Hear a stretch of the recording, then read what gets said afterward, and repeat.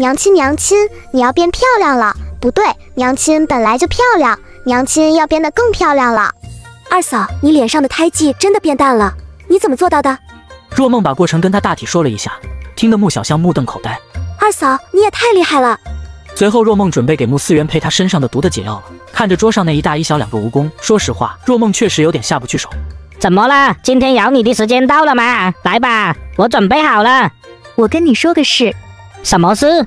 我需要配置一种解药，但是需要一位蜈蚣入药。你身为大王，身边应该会有那种不听话的或者跟你作对的蜈蚣吧？啥？你要我把自己的同类送给你入药？不行。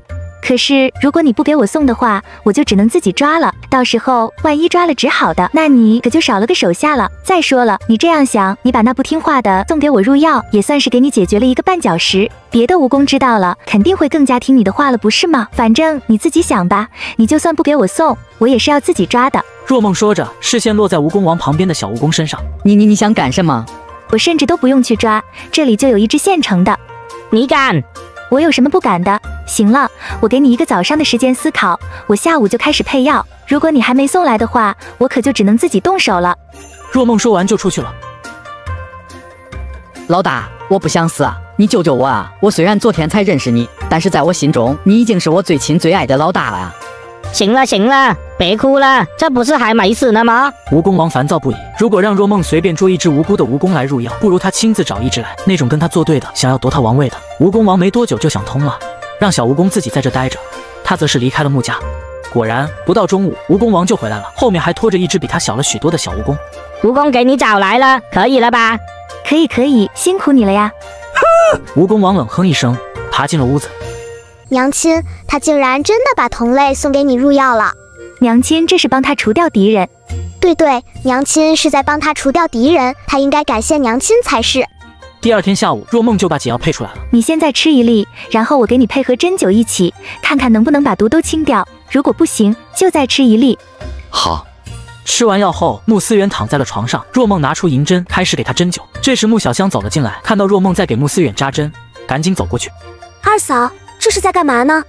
针灸怎么了？穆小香感觉又打开了新世界的大门。这不疼吗？不疼，扎在穴位上的。穴位是什么呀？就是人体内一些特殊的点区部位。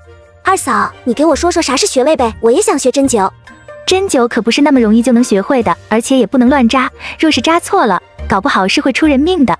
那没事，我可以慢慢学。只要二嫂你教我，我总有一天肯定能学会。学针灸也不是不可以，但是在学针灸之前，你得先学会医术。只有能给人看病了，才能用针灸给人治病。你之前一直都是跟着我认草药，该认的也认得差不多了。那从今天开始，我就教你医术吧。真的吗？谢谢二嫂。二嫂你放心，我肯定会好好学的。等以后我学会医术了，我就开一个医馆，赚钱养你跟二哥。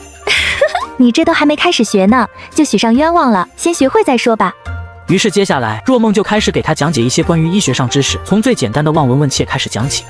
一刻钟后，若梦拔了针，给穆思远把了下脉，神色逐渐放松下来。成功了，相公，你体内的毒已经完全解了。不过为了防止还有余毒未清，这两天我还是要给你针灸。嗯，多谢娘子，都是娘子的功劳。啥毒啊？二哥中毒了吗？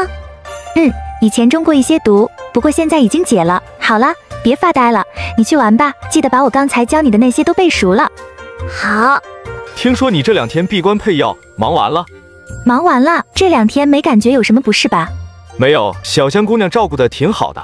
第二天一早，看到若梦的穆小香惊得目瞪口呆。二嫂，你你你，你的脸，你脸上的胎记没有了，你到底是怎么做的呀？脸上的胎记怎么就能消除呢？我这不是胎记，是中毒。随即若梦仔细的给她解释了一遍，穆小香听得似懂非懂。此事过后，若梦又发现了商机。相公，你说我如果用药材调制一些对女人皮肤好的护肤品去卖，会不会好卖？而且我之前观察过，镇上的店里卖的那些胭脂水粉，其实都不是很安全，就是还是有对皮肤不好的成分在。如果是我做的话，我会规避那些问题，做出最安全的产品。你可以试试，试试多浪费时间和精力啊！万一不好卖呢？那我不是白折腾了？